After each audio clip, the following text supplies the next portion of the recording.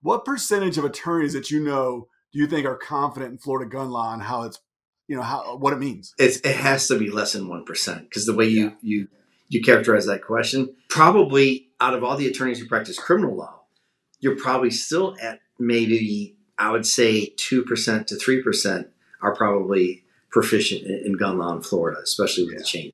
I am so excited about the new change in the law. With no change in the law, there's no reason to teach it.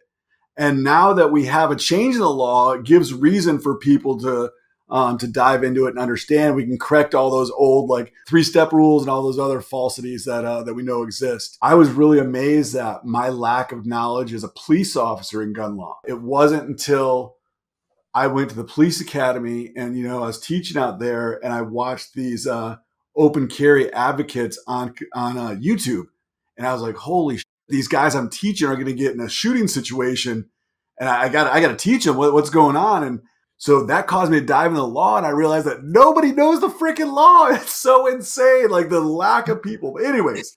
Uh, when you first said you're excited about the change in law, I thought you meant because it'd be more business for you. Because it is, there's different ways to construe it. Um, there's the federal aspect I know you're going to get into. Yeah.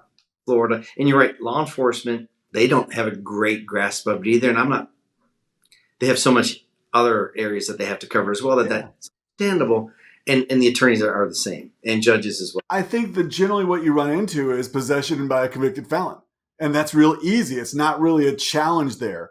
It's when you start talking about the nuances of a legal person carrying that's not really violating other laws. And now you're really in a technical side of it.